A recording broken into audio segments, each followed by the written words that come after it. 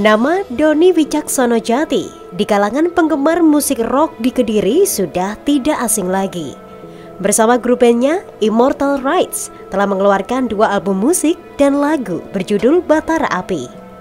Di balik sosok rockernya, Doni Wicaksono Jati adalah seorang seniman yang menyimpan koleksi seni hingga ratusan buku-buku sejarah peradaban di suku Jawa.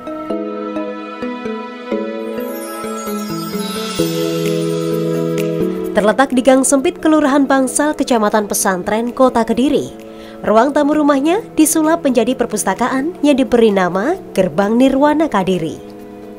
Meskipun bukan akademisi dan tidak mempunyai gelar sarjana, namun Doni dipercaya untuk merawat dan menyimpan buku-buku yang cetaknya sangat terbatas dari sejumlah instansi berskala nasional. Oh, sebenarnya sejak SMP itu sekitar tahun 95 kan ini sebagian buku sebenarnya koleksi bapak. Buku-buku Jawa lah istilah yang buku-buku Jawa yang istilah spiritual Jawa dan sebagainya itu sebenarnya koleksi bapak.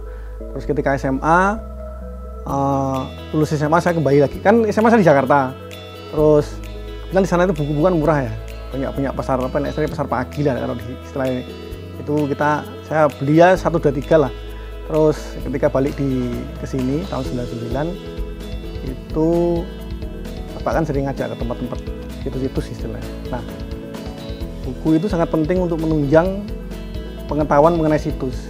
Terus mulai sebenarnya menggeluti ya mulai 2010-2011. Itu saya sudah mulai kolek koleksi lah istilahnya. Saya beli satu satu satu pokoknya tiap bulan saya jatah satu dua tiga itu. Nah, terus kemarin 2017-18 dapat akses ke Kementerian uh, Kebudayaan. Nah, ini sebagian buku-buku bantuan dari sana ya ada, dari perpustakaan nasional ada museum nasional terus yang paling banyak dari Kementerian Kebudayaan.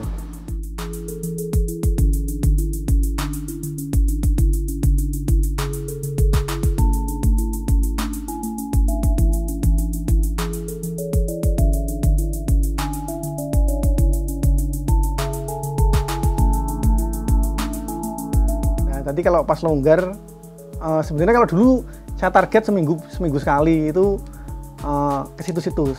Tapi uh, ketika kemarin 2019 itu sudah nggak begitu apa ya eksis. Jadi kita ya selonggar ya pokoknya ada waktu longgar saya pasti ke situs-situs. Jadi pendataan lah istilahnya situs-situs. Ya kadang seluruh Jawa Timur bukan bukan di Kediri saja. Di sing longgar dan hati ini kentek budal gitu aja jadi tidak ada jadwal.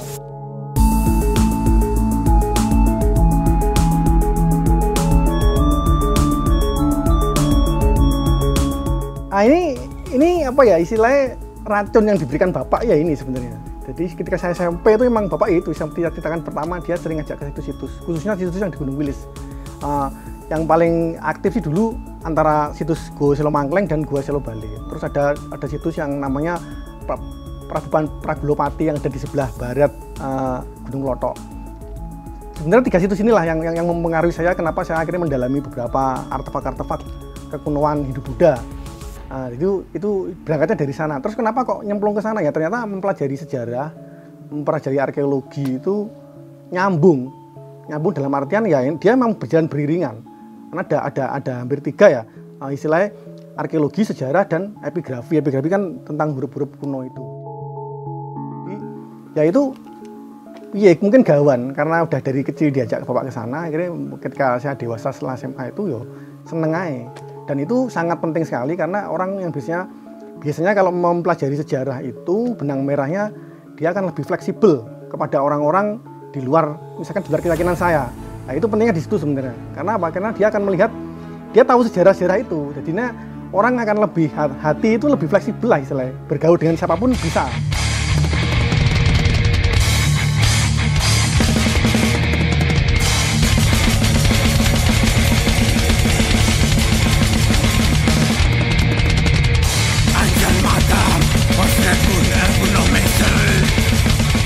Sama jadi dulu, dulu berangkatnya bersamaan ya. Ketika saya ketika SMP itu saya sebenarnya backgroundnya pelukis.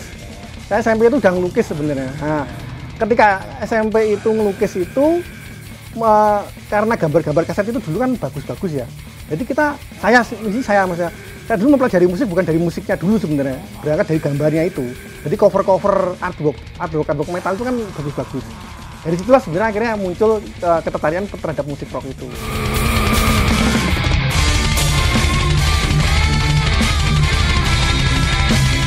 Mas Hacker itu band-band yang mempengaruhi untuk akhirnya terjun ke ranah musik.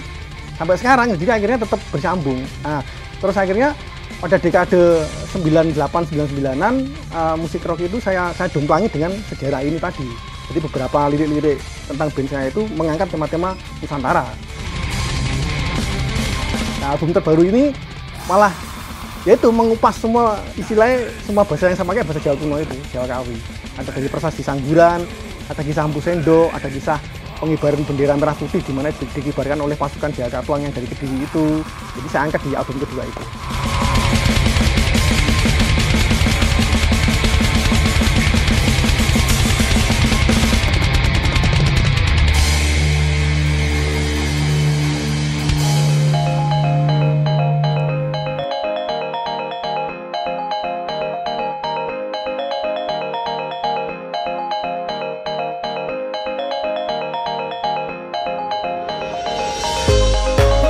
Buku saya dari kemarin apa itu maksudnya dari kemarin koleksi pertama itu ya berharap buku-buku saya ini bisa dinikmati oleh semua kalayak istilah orang-orang yang senang budaya di sejarah dan budaya di Kediri.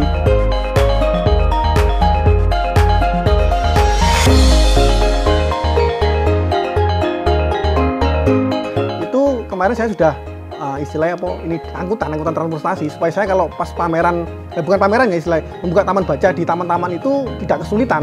Selama ini kan saya pakai Vespa ini. Nah pakai Vespa ini kesulitannya kita bongkar pasang itu. Kita saya angkat ke sana saya angkat ke sana lagi dan itu bongkar lagi itu kesusahan. Kan kalau kita bikin semacam ada transportasi uh, kotak gitu nanti dibuka bukunya wis cuma kan orang tinggal lihat saja. Jadi tidak usah bongkar pasang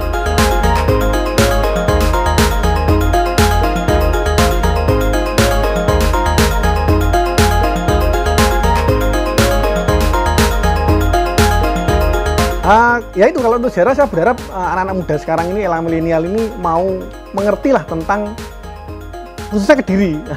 orang harus tahu sendiri, harus tahu kediri sebenarnya apa gitu. Jadi orang kalau belajar uh, istilah sebelum belajar ke sana-sana, kudu belajar ke kotanya sendiri, ke kediri lah, awak diri.